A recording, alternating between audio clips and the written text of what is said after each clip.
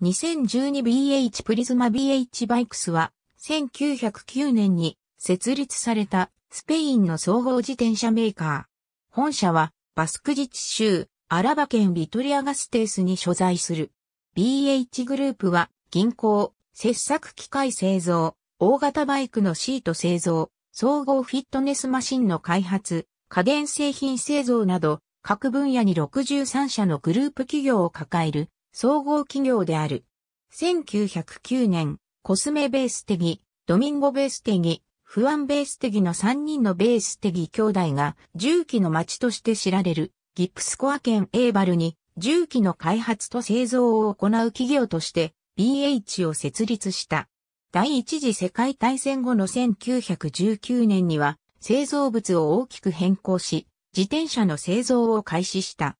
1930年代のスペイン内戦前には、小火器、特にルビーピストルやモーゼル C96 などの模倣品も製造していた。1935年と1936年のブエルタ・ア・エスパーニャでは、ベルギーのフスターフ・デロールが BH の自転車に乗ってステージ優勝した。1960年代、ビトリアガステースにある BH の主要な工場では、自転車のフレームだけでなく、サドルからスポークやハンドルバーまで製造していた。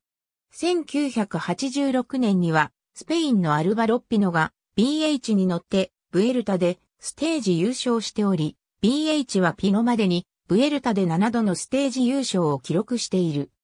1987年にはスペインのフェデリコ・エチャベが BH に乗ってツールド、フランスでステージ優勝している。1990年代初頭、BH は、プジョーの自転車部門を買収して、サイクルヨーロッパを設立した。サイクルヨーロッパは、ビアンキ、プジョー、ジタンなどのブランドを抱えた。BH は1996年にサイクルヨーロッパを売却し、スペインとポルトガルの市場に集中展開することを決定したが、2001年には再びハムヨーロッパの市場に乗り出した。BH は年間20万台の自転車を製造しており、うち50%はヨーロッパの国々に向けて輸出される。スポーツサイクル部門は、スペイン、イギリス、フランス、アメリカ、南アメリカ、オーストラリア、アジア、日本に現地法人を置いている。